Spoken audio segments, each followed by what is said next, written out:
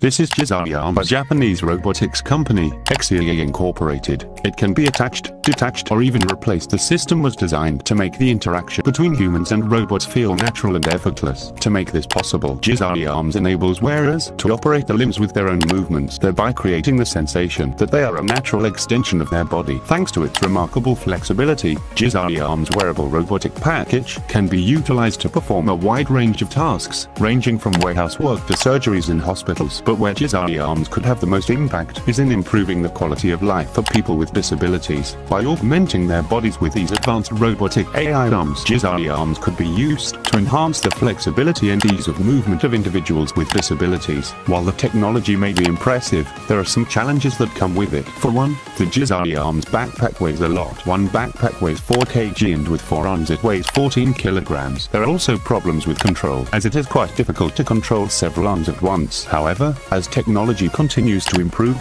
these challenges will be addressed.